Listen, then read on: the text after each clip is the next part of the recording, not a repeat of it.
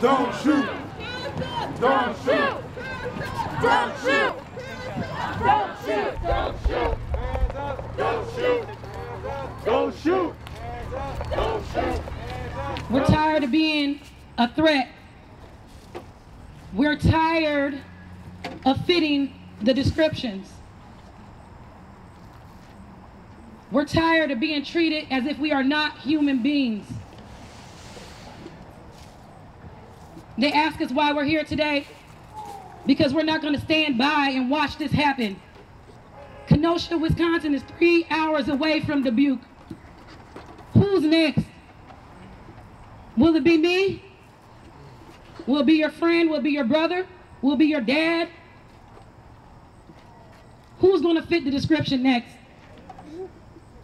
Jacob Blake had his back turned. He was shot seven times. They tell us to follow the law. That's all we got to do. Won't they start telling the police to follow the law? Won't they start telling the police that murdering people is against the law? Shooting people is against the law. How could you tell us to abide by what they say when our children are watching their fathers be shot in front of them? Would you abide by the police if you saw your father get shot in front of you while his back was turned? Would you be comfortable? Would you feel safe if an officer approached you? If you experienced that in your life?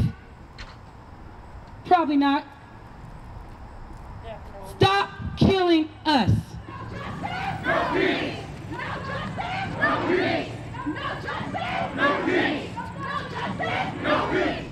Of us are grateful enough to be able to code switch, as I said before, and represent our community peacefully.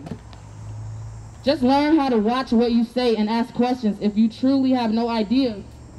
Because I do understand most people in the community, they've never been around, you know, black people before. They've always went to schools where it was just white kids. So learn how to actually get to know somebody not just because of their skin, but just because of who they really are. Actually sit down and have a conversation with them. You never know what somebody is going through. And my last thing I want to read to you guys is, non-black people must do better to learn to listen. Keep in mind that black people are not obligated to teach us how to care for them. Look into your honest self, your discomfort, your learned anti-blackness, and your family history.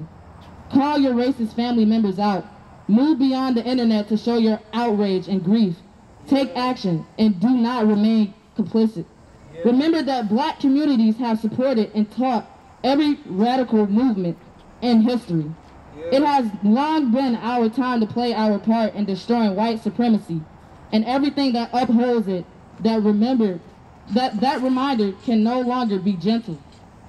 Um, so my biggest thing lately is racism isn't a political thing. Okay, like it's a human rights thing. I don't care if you're Democrat, liberal, Republican, a dog, a cat. I don't care.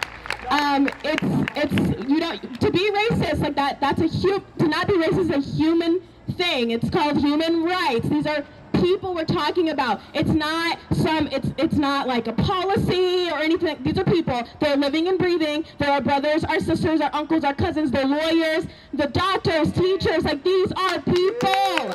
These are aside from Black Lives Matter isn't just an organization. It's not just a movement. These are living, breathing people who just want to go home to their families.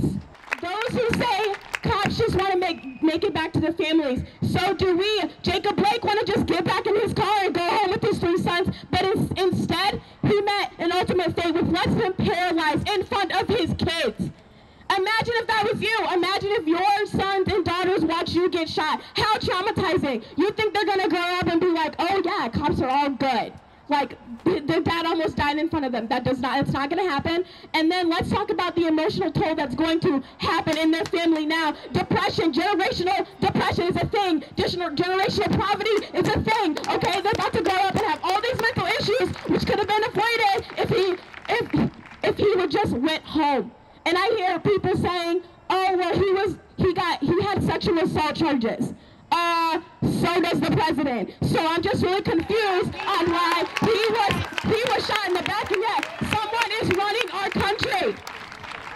Just trying to get home, live our lives. Kyle Rittenhouse is 17 years old, and he was allowed to walk towards cops with an assault rifle. With an assault rifle in this, within the same 24 hours that Jacob Blake was shot in the back. So you cannot tell me this is not a race problem. Make that make sense.